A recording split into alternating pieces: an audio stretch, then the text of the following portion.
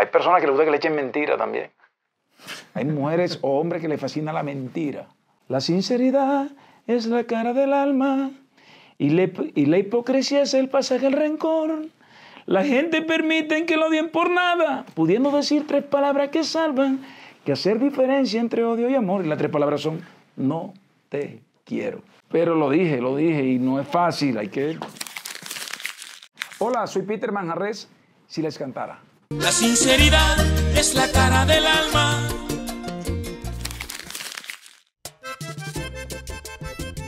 Bueno, la sinceridad tiene una historia muy bonita y siempre lo digo en vivo. Principalmente un consejo se lo doy a, a- los seguidores en vivo. Le digo, miren, tengan los pantalones bien puestos y si no aman a esa persona que está con ustedes, díganselo de frente, no te quiero. Y eso todo el mundo no lo va a hacer. Es difícil decirle a una persona no te quiero, ser sincera con ella.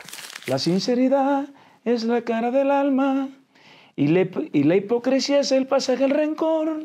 La gente permite que lo odien por nada, pudiendo decir tres palabras que salvan, que hacer diferencia entre odio y amor. Y las tres palabras son no te quiero. No, lo que pasa es que te estoy hablando de hace muchos años, cuando uno no quería, cuando uno de pronto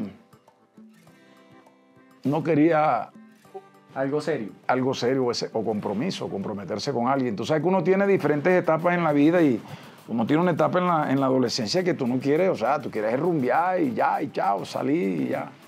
Cuando las personas le dicen no te quiero, a veces como que se tragan más, ¿sabes?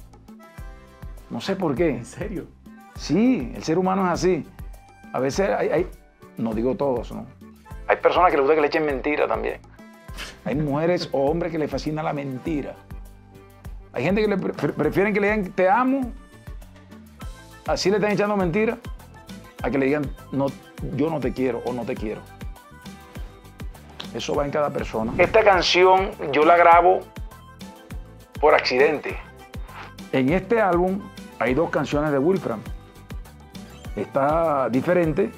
Ya él me la había dado, ya yo se la había grabado. Y yo me estaba, no se me olvide, estaba en Bogotá, me estaba midiendo el traje para el Grammy Latino, para el primero. Primero. Y estaba grabando yo El Caballero. Y él nos encontramos ahí en donde, donde, donde me estaba mandando a hacer el vestido. Y me dice, hey, te- hey, tengo esta canción. Creo que se la voy a dar, no me acuerdo si era Zuleta, Jorge algo así. Pero todavía no se le he dado. Le dije, cántamela. Comenzó la sinceridad en la cara del alma. Que Dios te cuide. Si una persona quiere hacerte daño. Yo escuché así de no, eso, es para mí. Eso es para papi, de una. Dije, yo te la grabo. Si no se la mostrado a ninguno, no le dije, porque tampoco yo no soy irrespetuoso, uno siempre a los maestros hay que respetarlos. No, no, él, cógela que no se la dado a nadie. Así fue, sin pensar en nada y, y la grabé y fue un éxito también. Es que yo no sé a quién se la hizo él. Bueno, pero si le Él siempre pegó a tiene, usted- mi compadre Wilfred tiene, eh, todos los compositores ahora tienen, se salen de la tangente porque dicen que no, se la hizo un amigo. Una historia, siempre que están explicando, le pasó un amigo. Esa es la, la que les cae a ellos porque ellos son casados. Pero te, te había pasado a ti. Claro, ¿La por, por eso, por eso la sentí. Por eso. Por eso la sentí. No, no, no, porque no, no, no, ya me había pasado. Es que cuando uno está grabando las canciones, uno tiene que pelicularse y cuando uno la va a cantar, meterse en el cuento.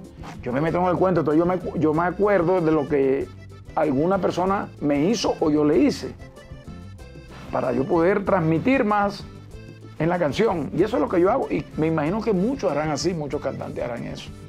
Que a pesar que no le esté pasando en el momento, ellos se acordarán, ay, me pasó esto. tal". Eso es verdad. A todos los piteristas, gracias de todo corazón. Los llevo en el alma y bendiciones. Y sean sinceros con sus novias y la chica con sus novios. Cuando lo vayan a cortar, dígale de una, no te quiero. Le dedica la sinceridad.